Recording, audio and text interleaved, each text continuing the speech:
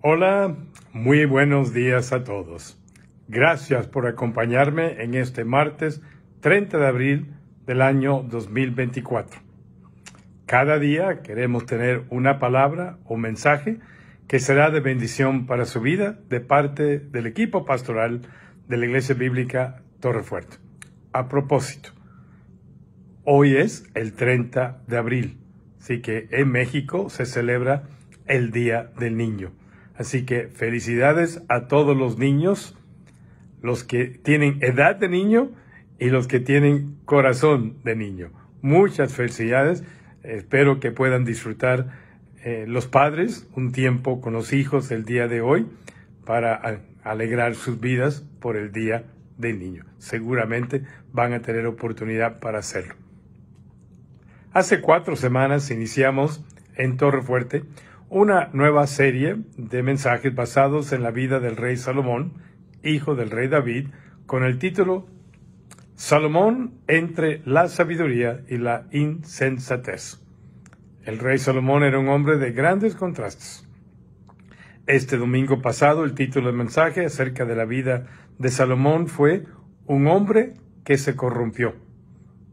Tres factores principales lo corrompieron una alianza con Egipto. Eso significa cambio de prioridades.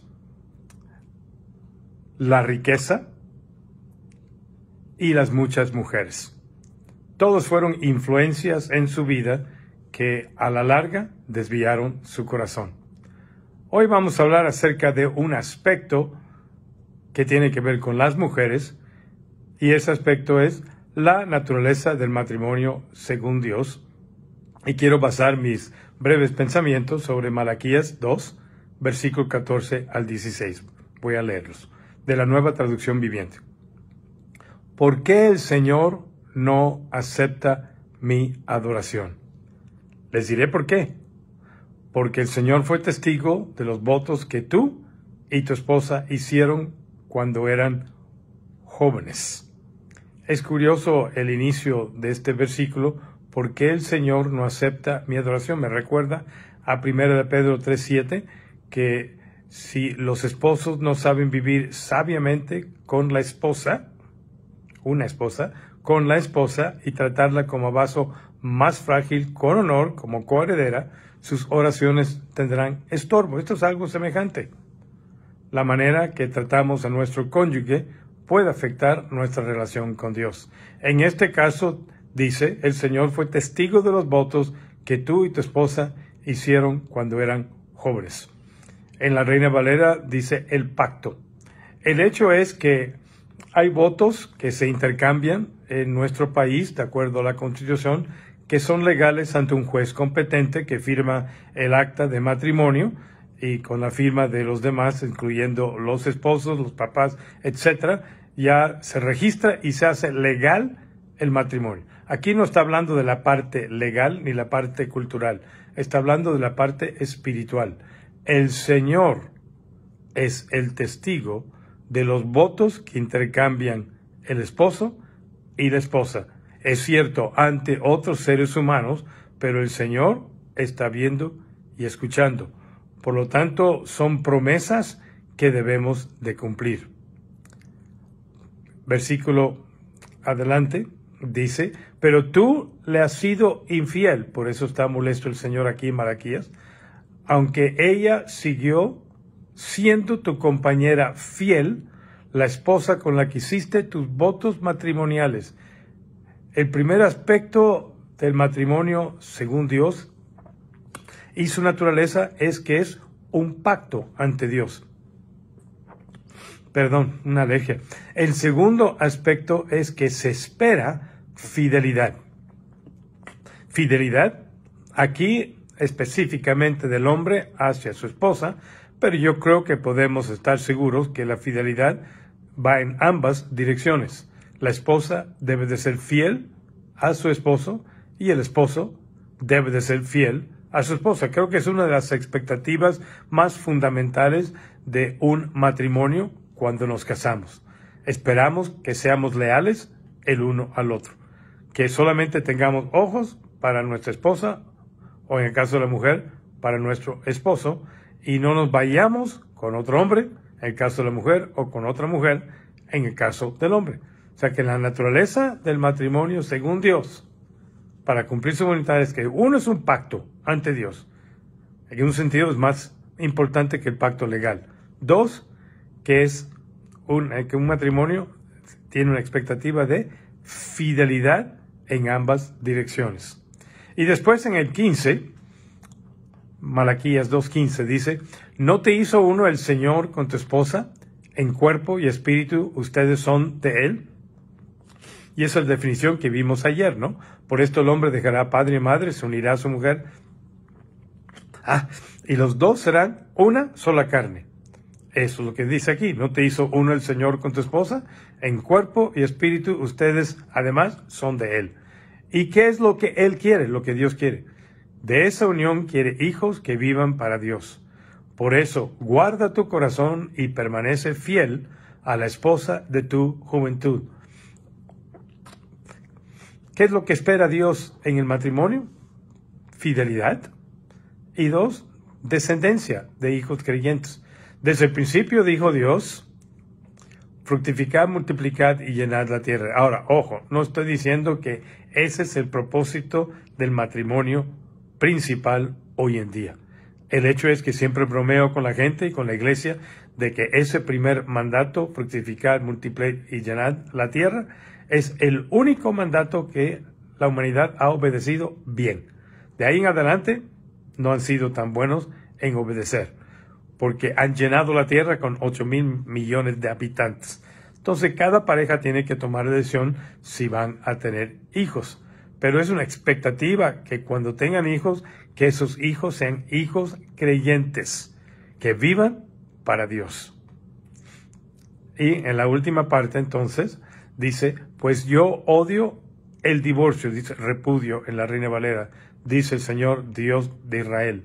Divorciarte de tu esposa es abrumarla de crueldad, dice el Señor de los ejércitos celestiales. Por eso, guarda tu corazón y no le seas infiel a tu esposa. Tercera vez que se menciona la fidelidad. Obviamente había un problema en aquel contexto histórico y cultural en ese tiempo en Israel, que los esposos no estaban siendo fiel a sus esposas, especialmente la esposa de la juventud.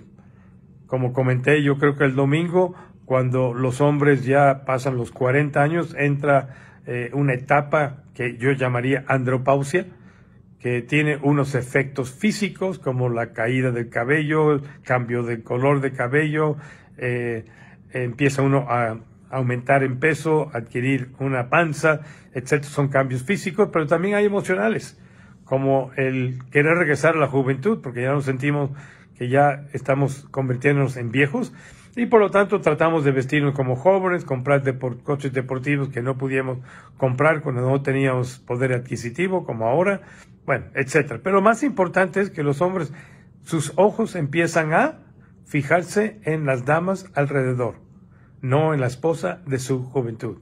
Hay razones por eso.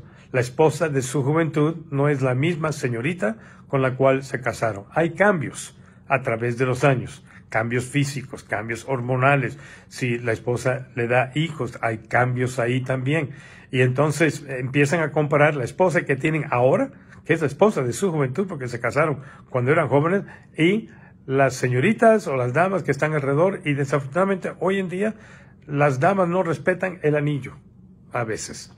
No estoy hablando de todas las damas que están escuchando, obviamente, pero antiguamente se veía un anillo y se decía, bueno, ese hombre ya tiene esposa, dejémoslo tranquilo. Hoy en día parece que no es tanto la barrera.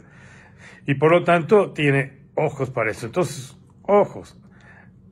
Una parte de la naturaleza del matrimonio es que es permanente e irrompible. Por eso es el símbolo del anillo. Es un círculo sin fin. No tiene principio, no tiene fin. El matrimonio tiene un principio, pero no tiene fin hasta que la muerte los separe. Por lo tanto, el matrimonio debe de ser permanente. Los dos serán una sola carne y Jesucristo añadió, lo que Dios juntó, no lo separe el hombre.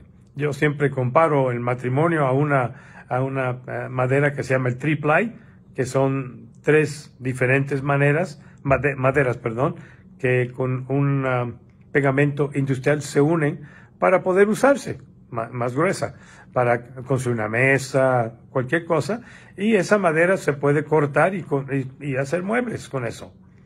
Pero si trata uno de separar las tres capas, destruye la madera. Así es el matrimonio. Cualquier intento de separar esposo y esposa, el uno del otro, destruye.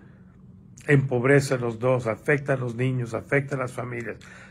Por eso, dice el Señor aquí, el Señor odia el divorcio. No es de acuerdo a su voluntad. Él diseñó el divorcio para siempre, mientras los dos viven, y también los efectos del divorcio. Así que el divorcio para el Señor es permanente e irrompible. Entonces, ahí tenemos cuatro factores de la naturaleza del matrimonio. Es un pacto. Es un pacto donde se espera fidelidad. Es un pacto en donde se espera que al tener hijos, esos sean criados para que estos hijos sirvan al Señor, aman al Señor. Y ese matrimonio, de acuerdo a Dios, es un matrimonio que debe de durar hasta que la muerte los separa. Así que si está pensando casarse, consideran esos cuatro factores. Si están casados, sean fieles el uno al otro, por favor. No se separen bajo ninguna circunstancia, salvo, como dice 1 Corintios 7, para la oración. Vamos a orar. Padre, te damos gracias el día de hoy por nuestro esposo o nuestra esposa. Bendícelos y danos a nosotros como esposo y esposa fortaleza para permanecer fiel a pesar de circunstancias y como nos sentimos en el momento. Hicimos una promesa y esa promesa la hicimos ante la presencia de testigos humanos, pero especialmente ante la presencia tuya. Así que bendice cada matrimonio y cada persona que está pensando en casarse, especialmente los que ya son novios o están comprometidos. Que este Día del Niño sea un día de alegría para todos los niños y sus familias, en el nombre de Cristo. Amén. Mañana es un día feriado, es el primero, ah, sí, es el primero de, mayo, por tanto las oficinas de Torre Fuerte estarán cerradas, pero tendremos nuestro servicio presencial de entre semana a las siete y media que también será transmitido. Seguimos con la serie eh, de los eh, profetas menores, exhortaciones proféticas para el mundo de hoy. Les esperamos.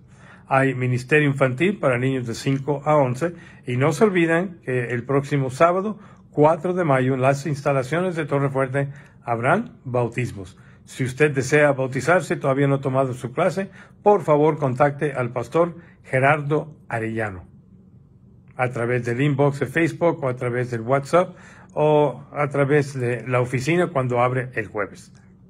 Gracias por acompañarnos en esta mañana. Nos vemos mañana, otra vez para esa palabra fresca a las 9 de la mañana con otro miembro del equipo pastoral. Les esperamos. Cuídense mucho en estos días, por favor. Que Dios los bendiga como siempre, ricamente, y que tengan un muy excelente día y feliz día del niño a todos los niños y a los papás. Gócenlo, disfruten el día. Nos vemos.